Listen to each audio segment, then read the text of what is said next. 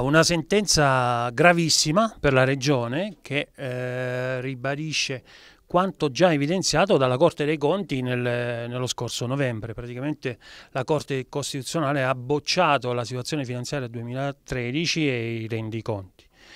Eh, le evidenze sono, come dicevo prima, gravissime, si va dalle spese prive di copertura, all'utilizzo di, di, somme vincolate alla eh, mancata correttezza dell'accertamento dei residui attivi e passivi, tant'è che la, il disavanzo passerebbe da 538 milioni di euro a eh, si, si, si, sommerebbe a questa cifra una cifra tra 62 milioni di euro, stima la Corte, a 174 milioni. Una cosa a, a mio modo vedere eh, chiaramente eh, del movimento gravissima che no, tra l'altro si ripercuote pure sugli esercizi finanziari successivi.